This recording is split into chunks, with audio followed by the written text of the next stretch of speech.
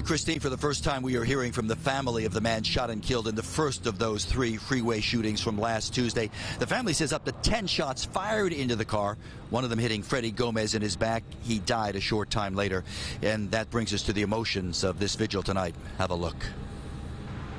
Sadness and grief marked by these candles, balloons, and a message card, all on the overpass above the very spot where it happened. Yeah, I, for me it's like a dream because we haven't even seen him. We don't know, no, we haven't seen his body yet. They are remembering 36-year-old Freddy Gomez, shot and killed in the first of three freeway shootings that struck last Tuesday. There's no words that I could say how I feel. Um, just want I just want them to find who did this to my uncle. Gomez was driving on the 710 northbound just after midnight early Tuesday when a black car pulls alongside and opens fire. Gomez is hit, shot in the back. He called a girlfriend that he was on his way to pick her up, and a few minutes later he called her back saying that um that he got shot. And they were saying, well, who did it? And he's like, I don't know. It's just, I don't know. It was just like a black car. That's about all he said. The family saying this is how they will remember their Freddy here at his son's fourth birthday party a few months ago. Happier times back then, now changed forever by violence. The deadly gunfire here followed by two other freeway shootings all happening in less than 24 hours.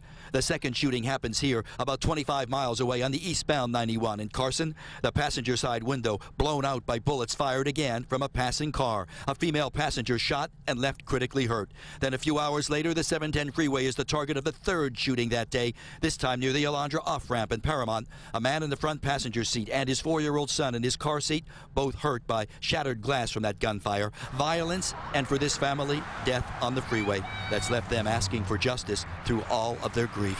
I mean, it's hard to believe that he's gone. I mean, we don't know why it happened, who, who did it, and we just want justice.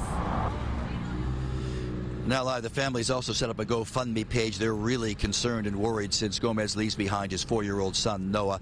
And you heard his sister. They want justice, saying they know someone out there knows who fired those shots, at least in this first shooting, because the CHP says all these three shootings, separate incidences, not the same gunman. So the family hoping someone will phone in a tip to the California Highway Patrol and they can bring Freddy Gomez's killer to justice. For now, we're live here at Bell Gardens. Ed Lascos, back to both of you we go.